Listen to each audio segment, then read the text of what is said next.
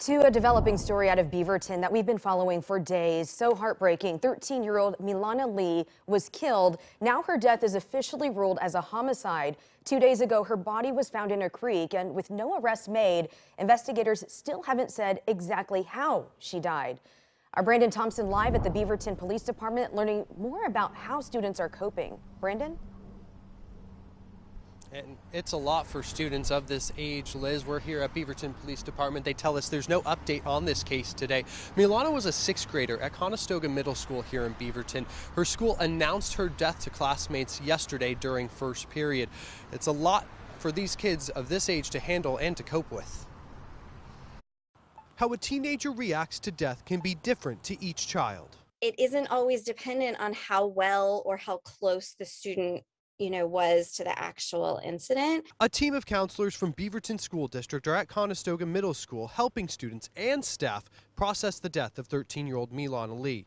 Police say there is no threat to the community related to her death, and Baker believes it's important for children to know that. We also really want to reassure students about their own safety.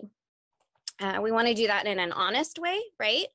Unfortunately, bad things can happen, um, but most of the bad things that happen are pretty rare. Beaverton Police tells us there's nothing new they can report about Milana's case right now. When a classmate dies, there can be a search for those answers on all platforms, particularly social media. So not only do they have access to rumors and all kinds of other things that they may access on there, they can also be constantly looking for what's the latest news Baker says limiting social media is helpful, but not what students are told. So be honest, I will also tell you middle schoolers can see through a lie like nobody's business, right?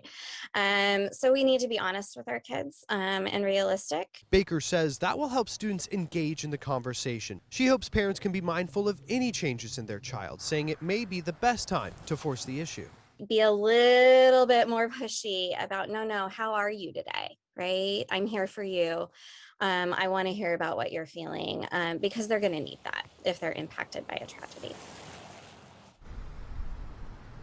So there are two links for you to check out at KOIN.com. One is a list of resources for parents if their kids are dealing with tragedy. Another is a link to a GoFundMe page that has been created to help Milana's family during this time. Reporting live in Beaverton, Brandon Thompson, KOIN 6 News.